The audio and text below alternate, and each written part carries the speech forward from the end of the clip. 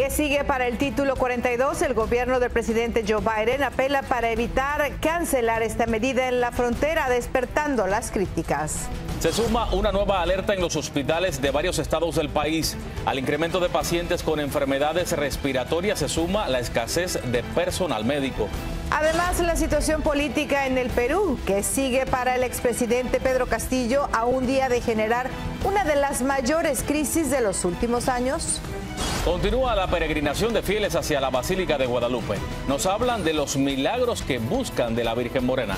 Así iniciamos su noticiero, Estrella TV.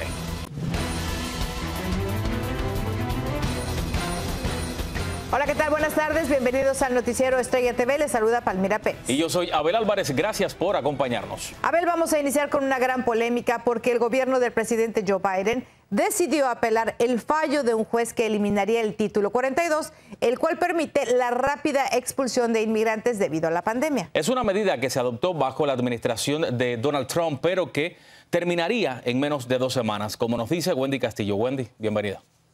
Hola, buenas tardes. Las autoridades migratorias pidieron más tiempo para ajustarse, calculando que el fallo podría duplicar la llegada diaria de inmigrantes indocumentados. A continuación, les tengo las reacciones y cómo podría impactar a los solicitantes de asilo. El 21 de diciembre llegaría a su fin la polémica política sanitaria título 42, pero esta podría extenderse ya que el gobierno de Biden pidió una prórroga de cinco semanas, apelación que traería consecuencias negativas para los indocumentados que buscan una oportunidad en Estados Unidos. En pocas palabras, mientras que la apelación está pendiente, título 42 puede seguir en vigor en como consecuencias puede frenar esta ola de inmigrantes que están tratando de pedir asilo en la frontera. El Departamento de Justicia presentó una moción para permitirle al gobierno prepararse para una transición ordenada a nuevas políticas en la frontera, dijo este miércoles el Departamento de Seguridad Nacional en un comunicado. Eso solamente quiere decir que la administración Biden está ganando tiempo porque su intención al fin de cuentas es ser más estricto y poner más obstáculos en el camino a aquellas personas inmigrantes desesperadas que vienen en busca de refugio y protección legal migratoria a los Estados Unidos. A mediados de noviembre, el juez Emmett Sullivan de la Corte de Distrito de D.C. ordenó el fin de la medida impuesta por el gobierno de Trump por considerarla una política caprichosa y arbitraria que además viola la ley de procedimiento administrativo dictamen en respuesta a una demanda entablada por la Unión Americana de Libertades Civiles, entidad que alega que el título 42 ha impedido que las personas que huyen de la violencia y la persecución busquen seguridad en Estados Unidos durante más de dos años. No hay ninguna duda que esta apelación de parte de la administración de Joe Biden es una movida política. Recuerden que esta apelación está sucediendo en la cumbre de una reforma migratoria que se está debatiendo en el Congreso y se puede especular que los republicanos quizás pidieron esto como unos requisitos si es que van a pasar una reforma migratoria en el Congreso. La decisión del Departamento de Justicia de apelar el fallo puede dar pie a que otra Corte Superior decida suspender el final del título 42, alargando una batalla judicial en la que también participan varios estados republicanos. Abel. Gracias, Wendy. Estaremos muy al pendiente de cómo siga desarrollándose esta información. Por cierto, un histórico proyecto de ley a favor de la comunidad LGBTQ fue aprobado este jueves por la Cámara Baja. La legislación que protege los matrimonios entre personas del mismo sexo y las uniones interraciales representa un paso monumental en una batalla que ha durado décadas y que desde el momento que el presidente Joe Biden la firme y convierta en ley federal, los estados deberán reconocer esas uniones. Bueno, y en otro tema, los hospitales ya se están viendo inundados por el descontrolado incremento de enfermos, pero ahora tienen un nuevo problema. Bueno, Palmira, y es que los centros médicos no encuentran personal para enfrentar esta crisis. Ángela González está en Nueva York y nos habla de esta grave situación. Un nuevo agravante se suma a la crisis por el aumento de casos de los virus respiratorios influenza, COVID y sincitial, conocidos como la tripledemia. Se trata de la falta de personal en los hospitales. Él dice, si bien estos siguen siendo problemas que requieren la atención y el enfoque de los funcionarios de salud pública, los hospitales y los proveedores de atención médica, esto palidece comparado con el problema más grande que es la dotación de personal. Desde el inicio de la pandemia hace tres años, los hospitales en Nueva York se han visto amenazados por la falta de personal. La Alianza de Salud Iroquois destacó que un 88% de los proveedores de su red informaron que operan con un margen negativo o mínimo. La crisis se traduce en más tiempo de espera para los pacientes. Son tres gripes en una sola y yo, de mi parte, yo estoy bien asustada porque tengo tres muchachos en mi casa que tengo que cuidar mucho de ellos. Y ya mis dos niñas se han enfermado con, esa, con esta gripe. Entonces he tenido mucho cuidado en casa y no he podido dejar de trabajar, pero he hablado con mis jefes para poder venir a trabajar. Entonces mi hija fue hospitalizada.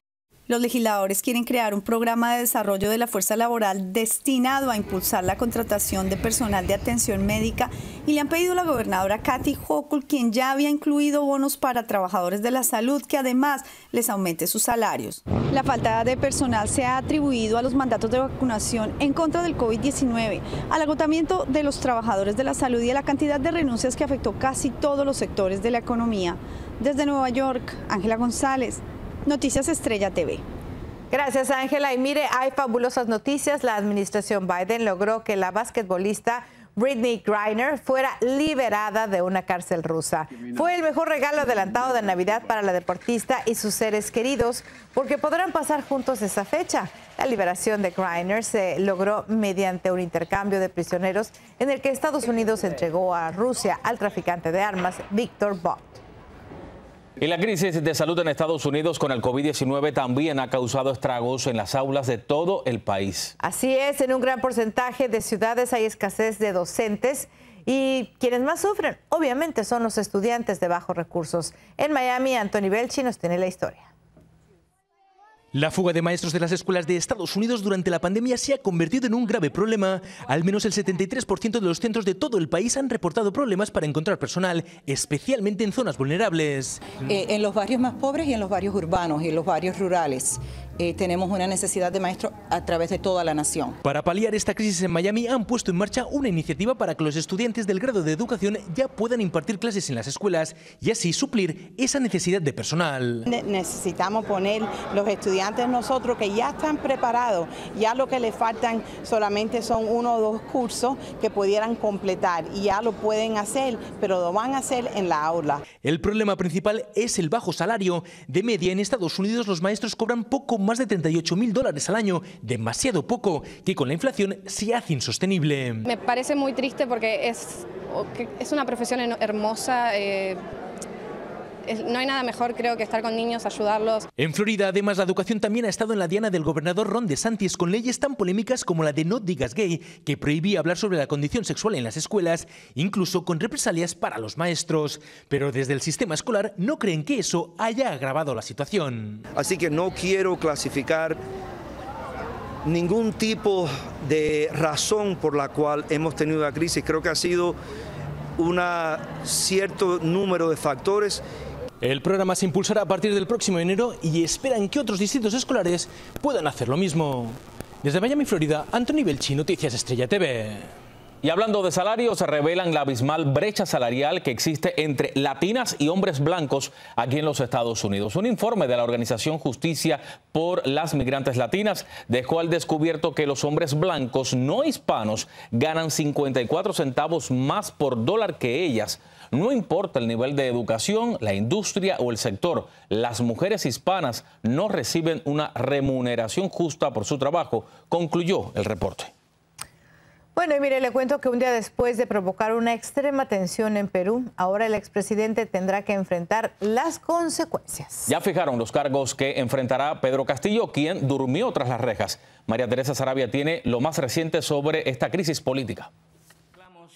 El expresidente de Perú, Pedro Castillo, quien enfrenta cargos de flagrancia por rebelión y conspiración, pasó su primera noche en la misma cárcel donde está recluido el exmandatario Alberto Fujimori. La inestabilidad política en el país no es de ahorita, es de tiempo atrás.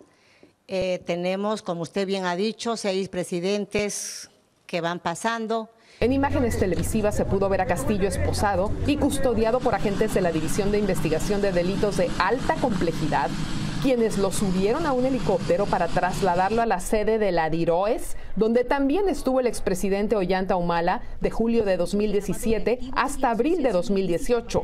Alberto Fujimori cumple una condena de 25 años de prisión que se le dictó en el 2009 por las graves y masivas violaciones a los derechos humanos que cometió durante su periodo de gobierno desde 1990 al 2000. El expresidente Pedro Castillo provocó un caos en el país este miércoles al anunciar la disolución del Congreso en lo que fue calificado como un intento de autogolpe de Estado, lo que le costó su puesto.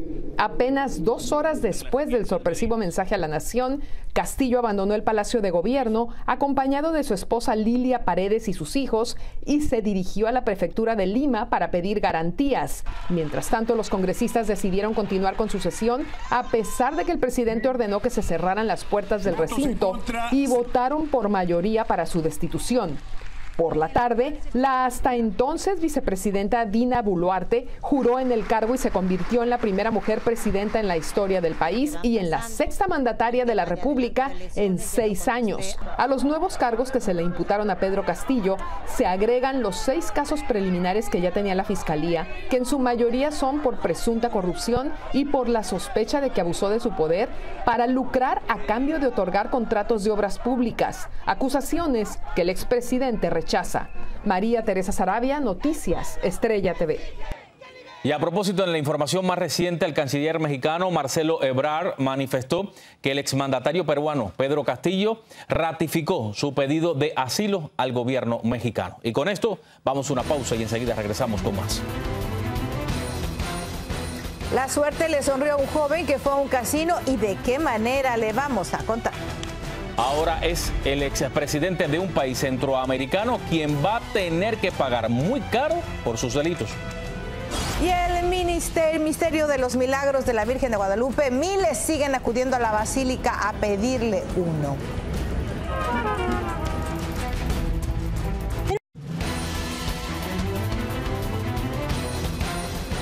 Por continuar aquí en su noticiero Estrella TV. Y ahora escucha esto, un afortunado joven recibió sin duda el mejor regalo de Navidad de toda su vida y por adelantado. Eso sí, así fue, se ganó el premio más grande en la historia de Arizona, pero lo más bonito es en lo que piensa hacer con ese dinero. Rubén Pereira nos cuenta esta emotiva historia.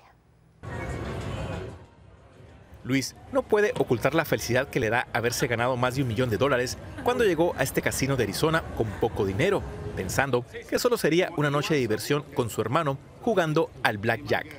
Yo y mi hermano gritamos, brincamos, toda la mamá, algo feliz, de feliz. Y marqué a mi mamá que gané. Y no la creyó, gritó desde el teléfono. sí. Apenas el pasado mes de octubre, Luis, quien trabaja en un restaurante de comida rápida, cumplió 21 años y acudió al casino tratando de recuperar los 450 dólares que había perdido el día anterior. Estaba jugando de 15 o de 20 cada apostada o de, hasta de 10 porque no quería perder. Y no perdió, sino todo lo contrario. La hazaña de Luis sorprendió a los administradores del casino. Estamos muy emocionados por Luis. Él es el ganador más joven um, para un jackpot. Um, es el más grande en la historia de Arizona. Con el dinero que Luis se ganó en este casino, piensa comprarle una casa a sus padres y también invertir en algún negocio para seguir generando dinero. Él siempre piensa en su familia primero en vez de él. So, yo sé que sí le va a ir muy bien con este dinero. Luis también cree que irá bien y no descarta que vuelva a tener otro golpe de suerte en este lugar, aunque no piense arriesgar todo el dinero que ganó.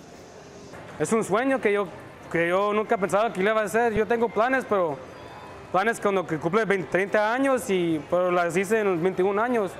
Para ver si puedo hacer cosas buenas por mi familia y mis amigos. En Chandler, Arizona, Rubén Pereira, Noticias Estrella TV. Bueno, y de una buena noticia nos vamos a otra no tan buena. Le cuento que el alcalde de Nueva York fue multado por una plaga de ratas en su casa. Lo irónico es que Eric Adams prometió en noviembre que eliminaría la descontrolada plaga que existe de roedores por toda la ciudad. Ahora está en problemas porque ha apelado para no pagar la multa de 300 dólares porque ha faltado a las audiencias por el caso y por usar un abogado en su, de su oficina para tratar de anular la citación. Qué barbaridad. Pero qué situación más compleja, ¿eh? Le sale más barato pagar la multa y ponerse a trabajar que contratar a un abogado. Y acabar con las ratas también. Claro. Bueno, vamos a con esto a una pausa y enseguida volvemos con más. Dura sentencia a un expresidente centroamericano. ¿Cuántos años lo enviaron a la cárcel? Le vamos a contar. Y la fe es lo último que muere. Miles de feligreses piden un milagro a la patrona de México.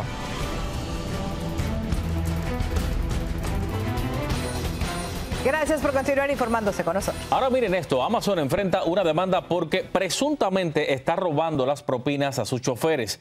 La querella también alega que la compañía, una de las más millonarias del mundo, engaña a los clientes al prometerles que sus propinas serán para los conductores que les entregan sus pedidos, lo que según el reporte no está sucediendo. La acción legal fue interpuesta por el Procurador General de Washington, D.C. Bueno, y al parecer hay una epidemia de expresidentes en problemas con la justicia. Efectivamente, ahora es un exmandatario de Guatemala el que recibió una dura sentencia por delitos de corrupción. José Flores está en ese país con lo último sobre este caso. El expresidente de Guatemala, Otto Pérez Molina, y la ex vicepresidenta Roxana Valdetti fueron condenados a 16 años de prisión por el caso denominado como La Línea, por el cual se vieron obligados a renunciar de sus cargos en 2015. Yo le digo que me siento defraudado, me siento frustrado porque tomaron una decisión sin pruebas. Es una contradicción que digan que me asocié y que defraudé, pero no dicen dónde está el dinero. El ex binomio presidencial fue encontrado culpable de asociación ilícita para defraudar al fisco del país entre 2012 y 2015, al tiempo que se les impuso una multa de 8 millones 709 mil quetzales. Porque cuando se dice que una persona recibió dinero, entonces tiene que saber cuánto, dónde y cómo. Y aquí nunca se habló de dinero, es decir, aquí pasaron los 11 meses sin probarse ni un solo centavo. La jueza que llevó este proceso programó para la próxima semana una audiencia en la que se determinará el tiempo que Pérez Molina permanecerá en prisión, ya que lleva siete años detenido.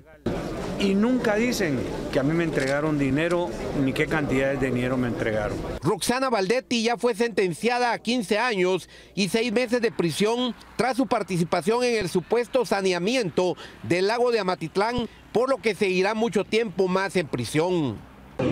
La verdad es que no hicimos nada, lo dejamos pasar. La ex vicepresidenta Roxana Valdetti también es requerida por las autoridades de Estados Unidos que la acusan de haber formado parte de una estructura que supuestamente traficó droga a dicho país. En Guatemala, José Flores, Noticias Estrella TV.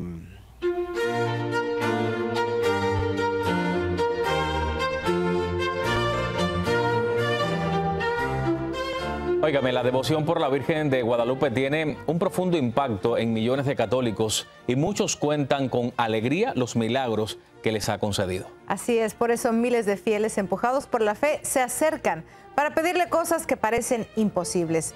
Víctor Blasquez platicó con algunos peregrinos.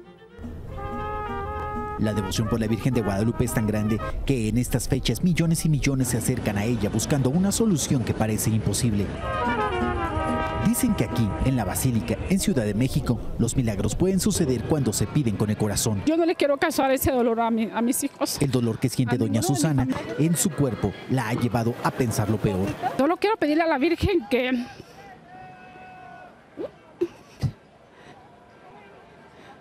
que ya no quiero tener pensamientos suicidas. No importa recorrer grandes distancias por estar unos cuantos segundos al pie de la morenita del Tepeyac. Verla y persinarse frente a ella es suficiente.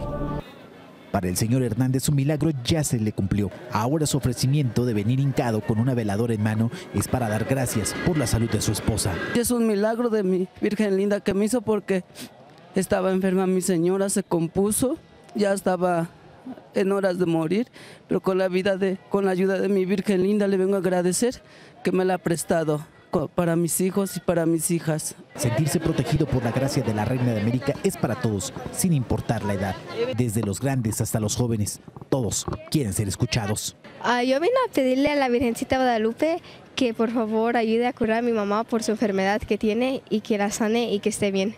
Bajo el fervor dicen que la guadalupana es la más milagrosa, que alivia los pesares más difíciles. Millones de personas no fallan al llamado de la Virgen de Guadalupe. Las principales peticiones son salud y trabajo. Dicen que con estas dos cosas ya son dichosos. En Ciudad de México, Víctor Blasquez, Noticias, Estrella TV. Gracias, Víctor. Nosotros tendremos un especial este próximo domingo sobre la Virgen de Guadalupe, así que aquí los esperamos. Vamos a una pausa, volvemos.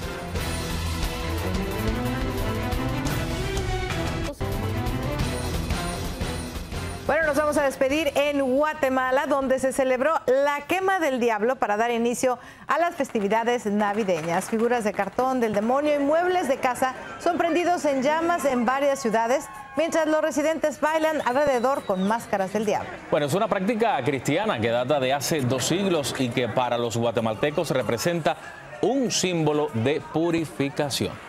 Ahí lo tiene. Todo el mundo con sus tradiciones. Que tenga usted muy buenas tardes. Gracias por acompañarnos.